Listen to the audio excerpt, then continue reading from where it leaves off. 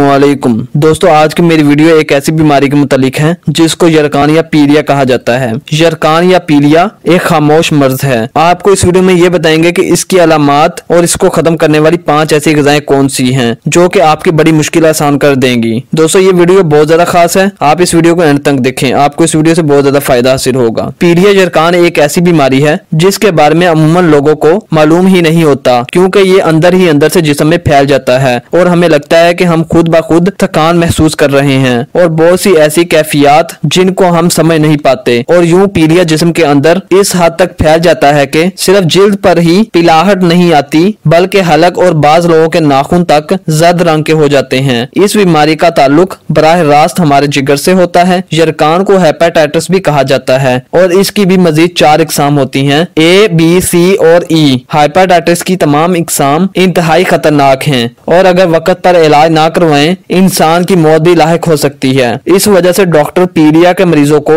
ज़्यादा से ज़्यादा आराम करने की हिदायत देते हैं, क्योंकि इसमें इनके जिगर के बिल्कुल खराब होने या मुतासर होने के खदशात होते हैं। आप भी जान लें, इस मर्ज की अलामत और इसको खत्म करने के लिए कौन सी ऐसी गजाएँ हैं जो रोज़मर्रा की ज़िंदगी में आप इस्तेमाल करते हैं, मगर हमें इनकी अफादियत का इलम नहीं होता। दोस्तों, सबसे पहले मैं आपको जरकान की अलामत बताऊँगा। हाइपाटाइटिस या जरकान में इब्तदाई तौर पर हल्का बुखार होता है, जो कभी तेज और कभी हल्का होता रहता है। तीन चार दिन बाद बुखार की शिद्दत बढ़ जाती है, सर दर्द की शिकायत भी बुखार के साथ महसूस होने लगती है। घुटनों में दर्द होने लगता है, सीढ़ियाँ चढ़ते और उतरते वक्त चक्कर आने लगते हैं। मुँह का जायका तब्दील हो जाता है, मीठी चीज़ें भी कड़वी लगने लगती हैं। खट्टी चीज़ों का जायका महसूस नहीं होता। भूख बिल्कुल खत्म हो जाती है। पेट में मुस्तकिल दर्द रहने लगता है और पेट का दर्द कुछ मरीजों को चंद हफ़्ते पहले से भी होने लगता है। क्योंकि अंदरूनी तौर पर जिगर अपना काम सुस्ती से करने लगता है। दोस्तों, आँखों का रंग पीला होना शुरू हो जाता है, पेशाब गहरा पीला और जर्द हो जाता है, यहाँ तक के थूक में भी पिलाहट आ जाती है। बार बार मतली और क्या आती है, जिगर और तिल्ली दोनों बढ़ जाते हैं और बाद मरीजों के गले के गदूद भी बढ़ जाते हैं और हलक में मुस्तकिल खराश होने लगती है। मरीजों में कमज़ोरी बढ़ जाती है, सिर्फ़ चलने फिरने में ही थकन नहीं होती, बल्कि लेटते वक्त भी कमज़ोरी महसूस होने लगती है। खानों की खुशबू भी अच्छी नहीं लगती और यूँ मतली ज़्यादा हो जाती है। ज़्यादा ऑयली चीज़ें खाना या फ्राइड आइटम हजम नहीं हो पाते। और जब तक कह ना आ जाए, जिसम को सुकून नहीं मिलता। पेट में सामने की तरफ़ ज़्यादा तकलीफ़ होती है, और अगर कोल्ड ड्रिंक पी ली जाए तो मजीद वज़न महसूस होने लगता है। कहने को ये तमाम अलामत ऐसी हैं, जिन पर कोई भी ज़्यादा गौर नहीं करता, और हल्की फुल्की दवाएँ खाकर आराम आ जाता है। मगर जब पिलाहट हद से ज़्यादा बढ़ने लगती है तो तशखीस होती है कि मरीज़ को पीलिया हो गया है। इस बीमारी में जिल्द, आँखों के सफ़ेद हिस्से और जिसम के दीगर हिस्सों का रंग पीला जर्द हो जाता है। इसकी बुनियादी वजह खून में एक यही मादा बिलीरोबिन की ज्यादती होती है।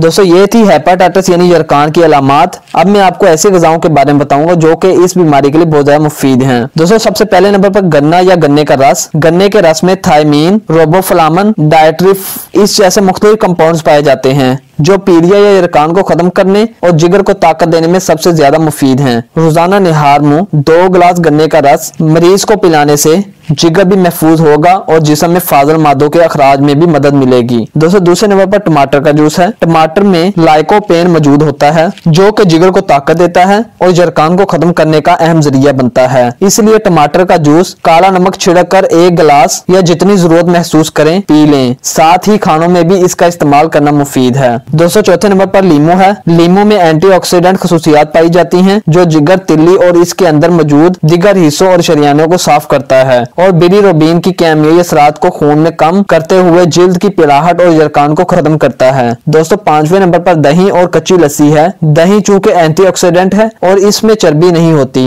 यही वजह है कि दही या कच्ची लस्सी यरकान में मुफीद समझी जाती है। इसको पीने से जिसम में ताकत भी आती है और थकावट भी कम हो जाती है। दोस्तों, छठे और आखिरी नंबर पर अंगूर का फल है। अंगूर चूँकि एंटीऑक्सीडेंट है और इसमें sodium, protein, vitamin A C B E और के और रूबीन खसूसियात पाई जाती हैं। इसको चबाकर खाने से पीलिया कम होता है और खून भी साफ़ रहता है, जिसकी वजह से पीलिया यानी यरकान बिल्कुल खत्म हो जाता है। दोस्तों, ये थी वो गजाएँ जिनको इस्तेमाल करके आप यरकान को बहुत जल्दी खत्म कर सकते हैं। उम्मीद करता हूँ कि आपको वीडियो पसंद आई होगी अल्लाह हाफिज मिलते एक नई वीडियो में।